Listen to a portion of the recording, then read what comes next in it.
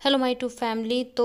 खाना वगैरह सब बन चुका है और हस्बैंड चले गए अपने काम पर। यहाँ पर मैंने बेडशीट झाड़ कर बिछा दी है। बच्चे आज स्कूल नहीं गए क्योंकि उनके एग्ज़ाम चल रहे हैं तो उनको एक दिन जाना होता है स्कूल और एक दिन छुट्टी होती है। आटा नहीं था आटा खत्म हो गया तो कल रात हस्बैंड लेकर आए थे उसको मैंने खाली करके रख दिया है। ड्रम को धोया नहीं था इसको मैंने सूखे कपड़े से झाड़ लिया था क्योंकि आजकल मौसम का कोई भरोसा नहीं होता कभी भी बारिश हो जाती है। और उसके बाद मैंने यहाँ पर बर्तन भी साफ़ कर दिए थे और थोड़ा सा सामान और लेकर आए थे हस्बैंड उसको भी मुझे रखना है उसकी जगह। पर तो यहाँ पर सबसे पहले मैं किचन को क्लीन कर लूँगी और जो सामान लेकर आए थे हस्बैंड वो मैं उनकी जगह पर रख दूँगी। तो यहाँ पर जो ये कंटेनर आप देख रहे हैं इसमें बिस्कुट नमकीन रखे जाते हैं तो सारे बिस्किट नमकीन मैंने इसमें भर के रख दिए थे और चने भी रखे हुए थे तो इनको भी मैंने खाली करके डब्बे में रख दिया है ताकि ख़राब ना हो ये भी। और थोड़ा सा सामान और था इसको भी मैं इनकी जगह पर रख दूँगी और ये बर्तन बार हैं इनको मैं आर की साइड में तो थोड़ी सी जगह है सिंक के ऊपर उसमें ही रख दूँगी और बाकी सामान मैंने उनकी जगह पर रख दिया और यहाँ पर घर मेरी हेल्प कर रहा था वीडियो आपको अच्छा लगे तो प्लीज़ चैनल को